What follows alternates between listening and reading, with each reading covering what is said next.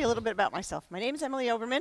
I'm a partner at uh, Pentagram, um, but uh, one of the things, the, my talk, when the slides come up, was going to be called, or is called, Entertaining Typography. Or because, because, because, because.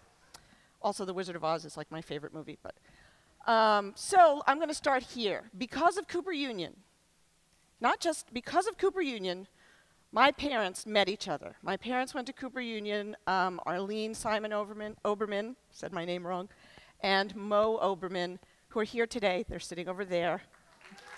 Um, uh, they met at Cooper Union. There they are practicing judo. And so, because of them, I exist. Um, and then I went to Cooper Union and graduated here. And this is, I think, the second time I've ever stood on the, on the stage at the, um, whatever this room is called. I know, I was kidding. Um, at the Great Hall. The other time was to get my diploma. Um, anyway, so uh, Cooper Union was wonderful. I appreciate it. I love it. It's been in my blood for my entire life. Um, I hope it goes back to being free. Um, anyway, here's me then, uh, sitting in a kitchen that I shared with Cara Di Edwardo, who is running this conference. We were roommates for nine years. She painted it that crazy red. I call it the kitchen from hell. Um, so because of me, well, not really because of me, but more because of what I learned at Cooper Union, I got to work at a design studio called M & Company, uh, working for Tibor and Maira Kalman for six years. Here's me when I worked there. And because of everything I learned at M & Company, I had my own studio of a similar ilk called Number 17 with my then partner, Bonnie Siegler. Uh, we had that for 17 years. Coincidence? Not really. Um, and anyway, because of Number 17, at Number 17, we started doing work for Saturday Night Live.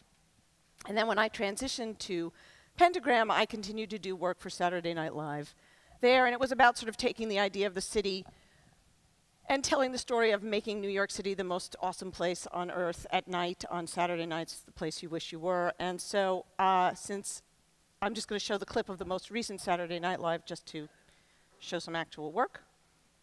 Here it is. Um, it's, it's Saturday Night Live. Brief that we've had for 20 years, trying to sort of reinvent what the city looks like at night. This Vanessa Bayer was designed for the 40th anniversary, so it's supposed to sort of evoke um, analog film as well as old TV and the quality that the typography has, the sort of bleeding of the red and the green. That's it for that. I'm going to keep moving. But because of Saturday Night Live, I got a call from an organization called Film Independent.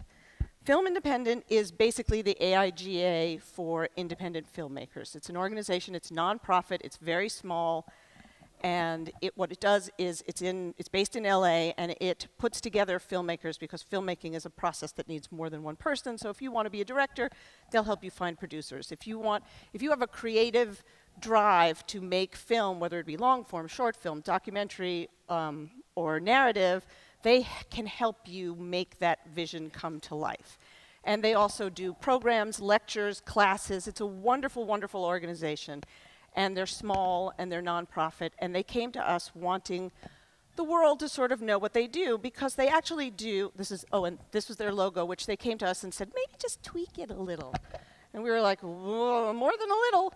Um, so I, like, I was like, what does that grease crayon mean? And they said, I don't know.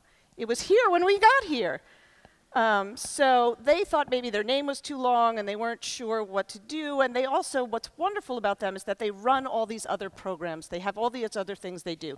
They put on the LA Film Festival every year. every year. They make the Spirit Awards every year, and then they do all these programs for um, up and coming filmmakers. So while we were talking to them and starting to do the strategic work in figuring out whether they should keep their name or change their name, they said, we have another little problem right away. We're trying to put on the Spirit Awards, and could you help us with that? And so I said, sure. Um, uh, so here was the logo that they were using for the Spirit Awards. Again, with the grease paint, and again with what they thought was Helvetica, but seems actually to be Arial. And um, they said, I said, they said, could you help us with our logo? We're having a little trouble. And I said, sure, if we help you with the logo, and you like what we do, will you let us do the whole show? Will you let us do all the graphics, all the, all the packaging for the show? And they said, Of course. Um, so what we did was we just cleaned up their logo, took the Helvetica and turned it into actual Helvetica, tightened it up, made it feel like a block. We didn't want to do a redesign because we were in the process of trying to figure out what their brand should be. So all we did, it happened to be the 30th anniversary, so we were fortunate enough to just be able to do that and have it look clean and tidy. They had also had this thing where the Spirit Awards, independent filmmaking, for some reason, it was all like grungy and like a brick wall and all on a slant and all messy, and we just thought, why? Why does that have to be what independent filmmaking is? It's a very precise um, practice. So we went ahead and cleaned it all up and made it sort of nice. And we had this idea that their name, Film Independent, and their logo, their problem wasn't so much uh, a um, name problem, but a logo problem. And we wanted to figure out how to make it fit in places. And I like the idea of breaking things and changing things and being a little unexpected. So we wanted to look at ways that we could start to do that with typography and let that sort of hint at where we were going to go with their brand eventually. And so I'm going to play the little sizzle reel of what the show actually looked like.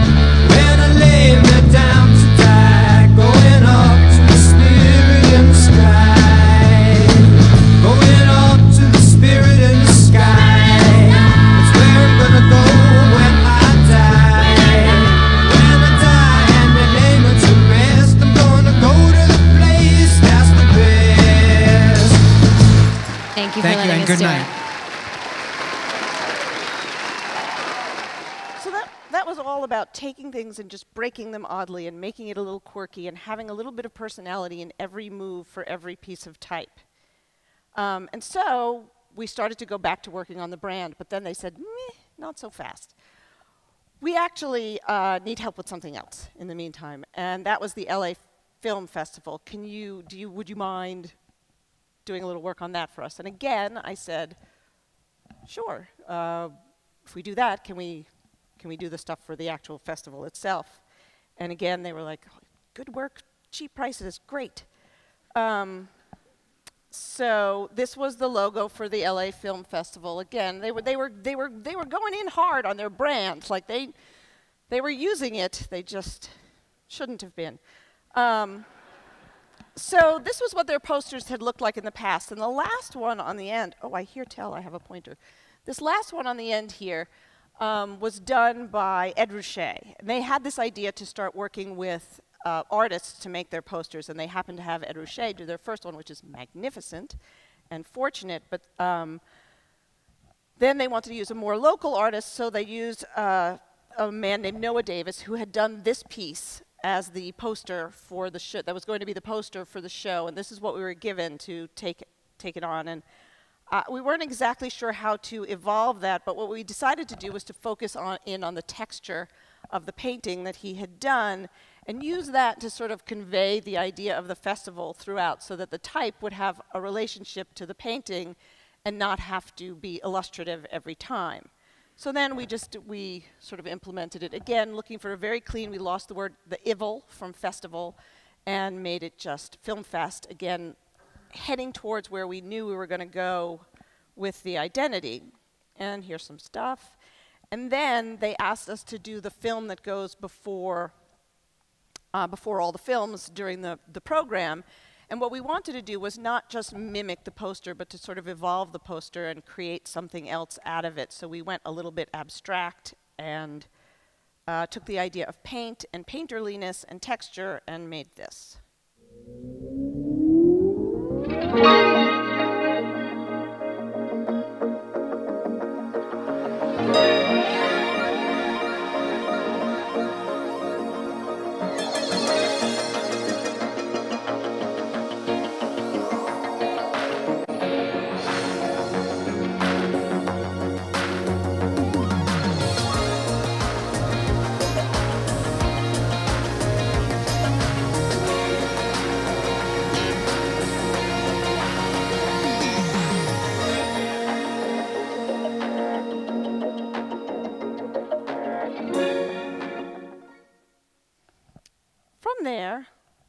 finally able to work on their actual brand identity.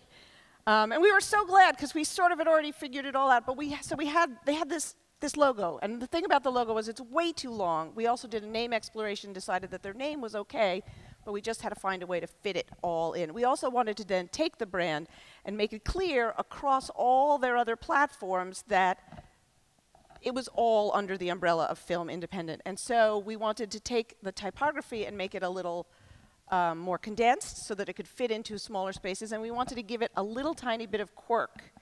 Um, and so we did.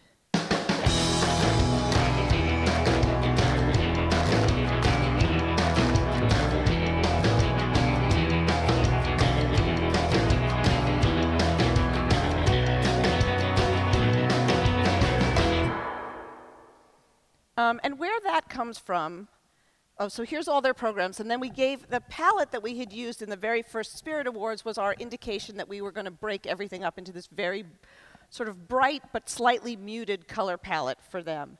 And then the inspiration for the typography was from things like Jean-Luc Godard's films, uh, typographic style that he uses uh, throughout all his films, even a little bit uh, par parodied, not really parodied, but used again in Birdman.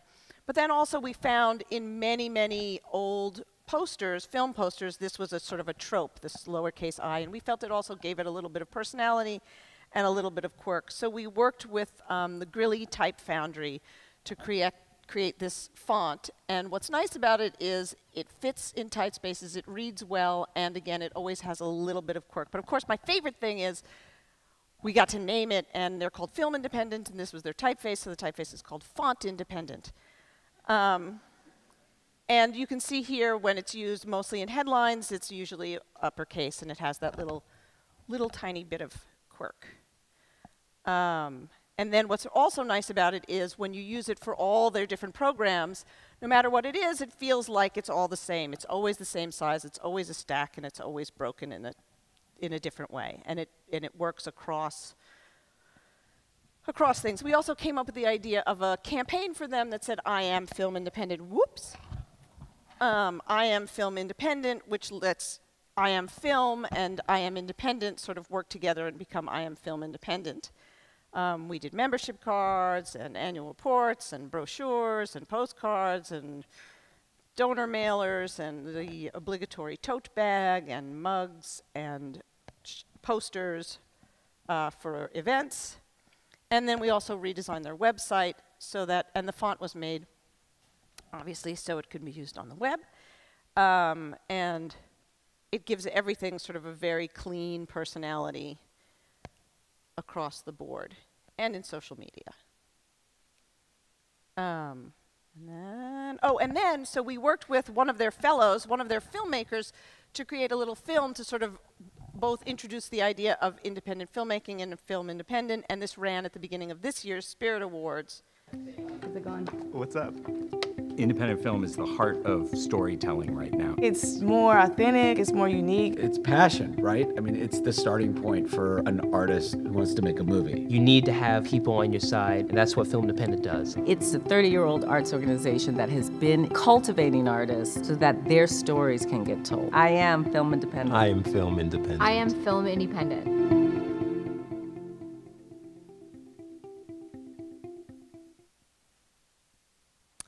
So, because we had done the Spirit Awards in, yeah, no, not so fast. Um, because we had done the Spirit Awards in um, 2015, um, they asked us back to do them again. And now we had the typeface and we had the brand and we had everything we needed and we wanted to really make that clear. So we took that new logo for the, for the event and use that and that's our the blue color was used throughout and we wanted to really brand the whole event and make the type sort of work really hard and be front and center to sort of again give this thing a personality. We also wanted to bring the idea of filmmaking and texture and light and um, analog humanity into everything that we did. Um, and so we did postcards for them again, supporting the color and using the palette with always uh, an opposite color to highlight it and accent it. We did tickets, and we did the program again, and the back cover of the program.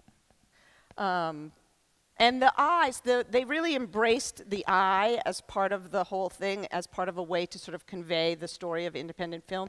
And so the set was actually built around it, and we did all these um, interstitial just animations using pieces of the logos. And now I'm going to play the reel of the, the work that we did. And it was always about touring through the typography and the logo and the names of the different uh, categories in this sort of cinematic universe that you sort of know whether it's a Matrix-like thing or a Star Wars-like thing or something sort of more foggy and film caught in the gate. But it was meant to sort of evoke all different things that you sort of already feel comfortable with in the world of film.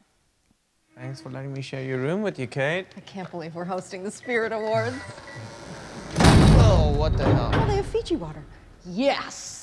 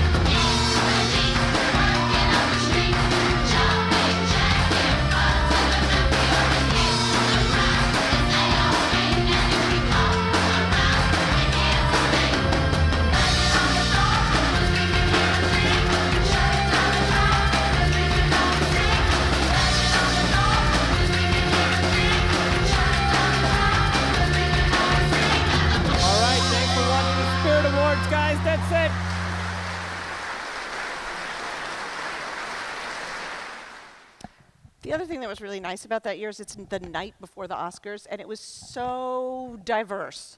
The people who won were so diverse, and it was just a wonderful, warm, nice night of really good, talented people doing at their best. Um, and the, the other thing that I wanted to say is that working with Film Independent, uh, the head of Film Independent is a man named Josh Welsh, but the task force that hired us is made up of people like the AIGA, people who come back after having used the organization when they needed it at the beginning of their careers, people who have moved further along in their careers. Like Mary Sweeney was, was our, one of our main contacts. She's edited every David Lynch film ever and wrote The Straight Story. And uh, another one was Alan Ball, who created Six Feet Under and uh, and the newsroom and my so-called life. And the other person was a woman named Sue Kroll, who is the head of marketing at Warner Brothers.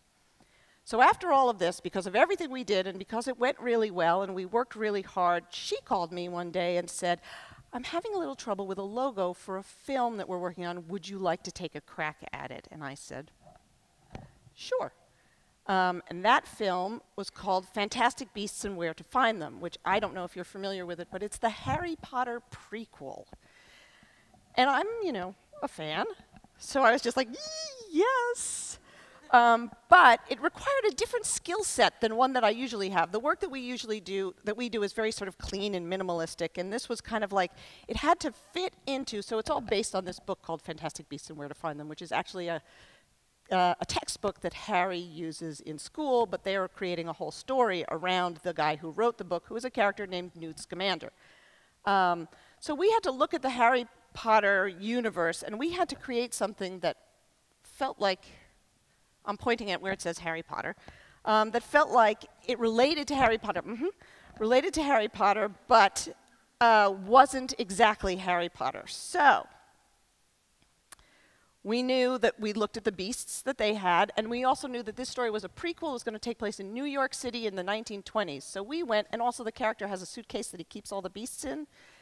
Um, so we looked at all those kinds of things the suitcase, the wand, which is basically the lightsaber of the Harry Potter universe, the beasts themselves, fuzzy, furry type, funny, animalistic type, scaly type. We had this idea to do big scales in the background of things, fangy type, newsy type, weird critter type. And so in the end, we went back and forth, and they ended up liking these two directions. And then we made this thing that looks like nothing I've ever made before, and is the moment that I think if Tobias is here, he's going to plots. Um, I made this. Um, and that's the logo. And I know it's kind of crazy and insane and kind of Game of Thronesy, but it fits in the Harry Potter universe in the right way, and I love it. Um, um, we had to create a Fantastic Beast initials uh, monogram. Then here it is being used on posters. And here is, we had to create an entire font. And the font is made up of plain letters and hairy letters so that we can do stuff like that. And so that they can do stuff like this, because immediately, this is the first time I've ever done anything that immediately had to be translated into a million languages because it was going to be there, where it was going to be so huge. This one has the logo as the subtitle, which is also hilarious to me. Um, and so this was the introduction of the logo, and I'm I squealed the first time I saw this. Uh, Lumos Maxima. Lumos Maxima.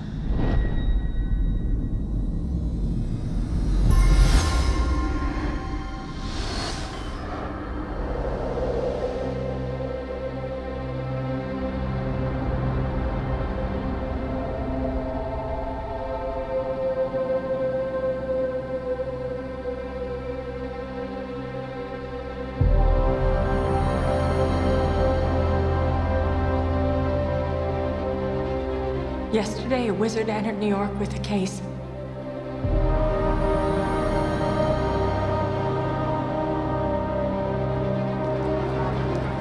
A case full of magical creatures.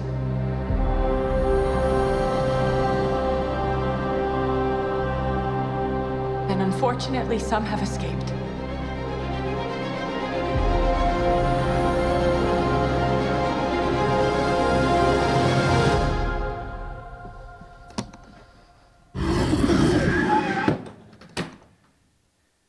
Was open?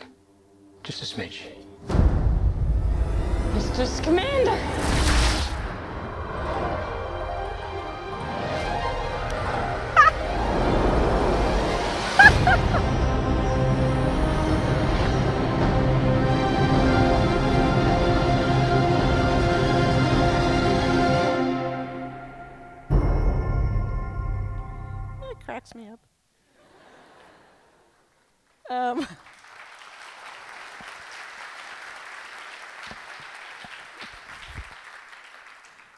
Thanks. Um, so there's one more thing, and I can get through it in two minutes.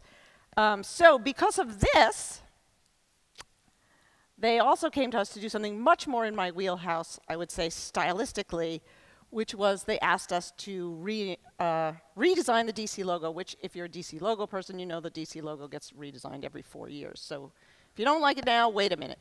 Um, Actually, I'm hoping that this one sticks around. So we, we, when we do stuff like this, we really like to look at history and think about the history of something, but also think about where DC is going. We also did a lot of strategic work for them. They have a fantastic array of not just superheroes, but also villains. They're very classic. It's very godlike. It's different from Marvel, and we had to sort of figure out how that is. And it sort of came down to me also that Marvel is a red square and DC is a blue circle. That's kind of a very basic uh, you know, you boil it down, that's sort of the truth of the matter is in terms of logos. But it has to also be able to cover all different media. They now don't, comic books is a small part of what they do and everything else turns into it. So of course we looked at the history of what they had done and have heard from people, yeah, I'm done, I'm almost done. Um, heard from people that uh, the blue Milton Glaser bullet was kind of a favorite and anything before that, and also the idea that the current logo was sort of a sponge and could take stuff on was something. So we did this.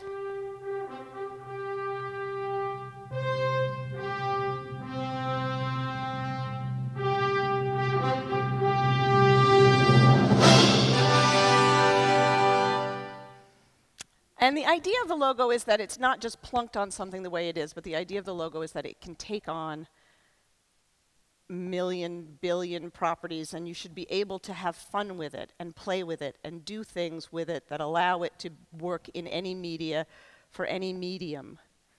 And we, DC has not actually released the logo yet, but fans, some of whom really hated it, and some of whom were like, I was just getting used to the old one. I hated the old one first, now I like it, now I hate the new one. Like, just, again, give it a minute.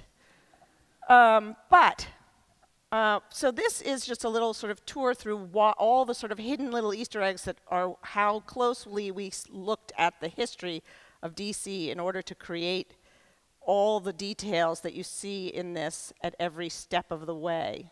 Um, but then the cool thing that happened is that fans, before DC released anything with it, started making stuff with it. All on their own. This is all taken, that's my favorite. What? Um, all taken off the internet, just fan made. One guy even was like, look how well it works with all these different logos. I was like, you're hired. Um, and one even made this, which I thought was really cool. It's a little marbly,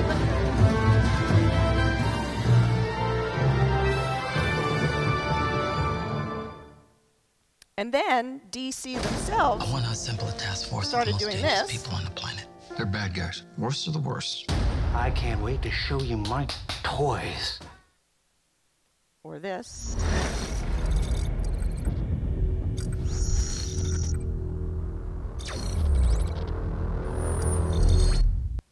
And I think it's just beginning to find its feet. It's only been like, it's only like three weeks old. Um, so, but I think it's going to evolve really, really well. I hope. Don't want to sound cocky. And then the last thing I just want to say is everything you've just seen here is not just because of me, but as I said, because of my team that I work with and on all of these things. And all of these people work really hard, so just take a minute to read their names. Um, they're all really important and they bring something special to every single project we do. And that's it. Uh, I have one quick question. Uh, the question is actually from Roger. Uh, he says, back to the beginning. No, not the excellent vamping while they connected your laptop. What did Cooper do for you? I'm sorry, what did What did Cooper, Cooper Union do for you? What did Cooper Union do for me? Cooper Union did everything for me. I mean, I, I, I mean, I, am not sure what to say. I mean, I, Cooper Union did everything to, for me in a way that is that goes deeper than even just school, but because my parents went here, and because my entire life was filled with Cooper Union. I went to the end of the year show every year for my entire life. Um, it was part of who I was. The alumni office was part of. I went to the wreath ceremony. Cooper Union, Cooper Union produced a group of people, not just my parents, but all of their friends who were smart, who were creative, who were driven, who were funny, who cared about what they did. It taught me all of that before I even got to school. And then once I got to school, I was able to take that drive that I already had. I mean, maybe I was just lazy and I just went to the school my parents went to, but I don't think so. Um, it once at Cooper, because you don't have to declare a major, because you can do everything. I did filmmaking, I did printmaking, I did graphic design, I took drawing. I was a terrible painter, I, but I did it. I did silkscreen. I learned as much as I could and learn and learned to think. I think, I hope, think bigger than just one discipline. And that was really important to me. And the teachers were passionate, and the students, because there are so few of us, we all banded together. It was it was great, and it was also great because it was free. It was free.